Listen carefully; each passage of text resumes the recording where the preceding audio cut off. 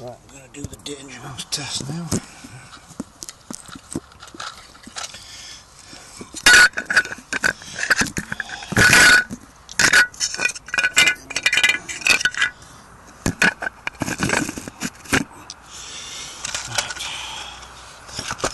Danger mouse. Move the wax off that.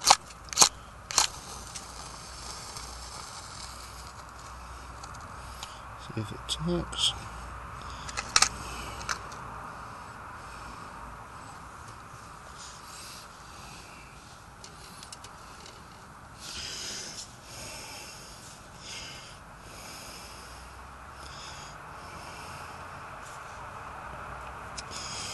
Basically, it's the cheapest form of tampon I could find. Uh, punch an hole in with an hole stick a couple of matches in and then dip it in wax. It works quite well. Simple as simple can be. Mm, just see how long it burns for now. Mm. I presume with this one if I could turn it over, possibly mid burn, get a bit bit longer as well.